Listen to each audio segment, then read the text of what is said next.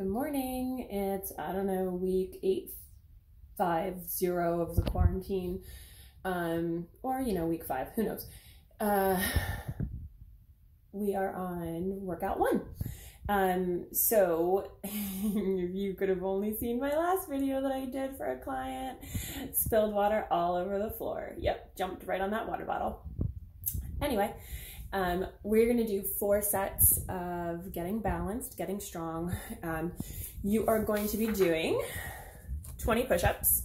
We know how to do push-ups. Followed by 10 burpees. Yeah, they suck. Just do it.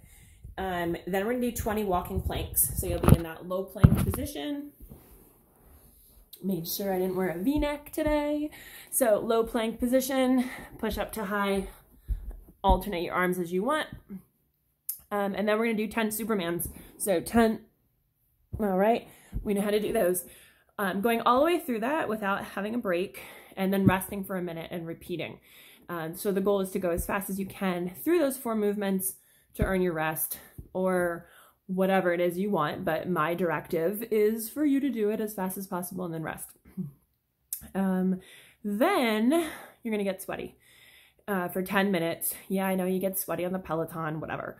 Um, this is a little different sweaty. We're gonna do eight alternating lateral lunges. We're gonna be working side to side motion.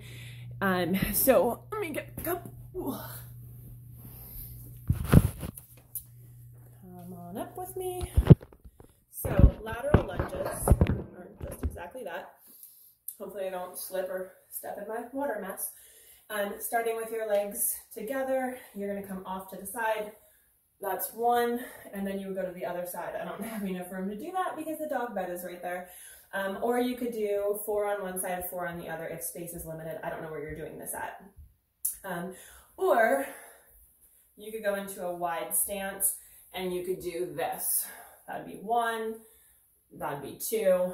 Um, you can do that for eight, whatever works better for you. No knee pain, so make sure that we're not like really going too far out. Um, then we're gonna go into eight plank toe taps. Not what you think, a little bit different. You're gonna go into a high plank position and you're literally going to reach back and touch your opposite foot with your hand. So my right foot would touch my left foot, left, sorry, right hand touch left foot, left hand touch right foot. So let me see if I can, I don't know, uh, tuck my shirt in. Let's see. So you'd be in plank position and you're gonna come back Try to touch those toes back into plank. Try to touch those toes. So when we're doing that, you're actually working the lat muscle, what we work when we do pull-ups. So just do it. Um, so eight of those, followed by eight crab touches, which when I first typed this out, it said crap touches. So whatever you want to call them, crab or crap. So you're going to go into that crab stance as if you're about to walk. We're going to bring our butt up alternating crab touches. Don't I make a cute crab? Followed by eight sit-ups. We know what that is. So the number is eight uh, for 10 minutes and that's it. Um, I got nothing else. So hopefully I will talk to you soon and we will get through this. I have lots of stuff in the works, so can't wait to tell you about it or send you pictures of it. So talk to you soon. Bye.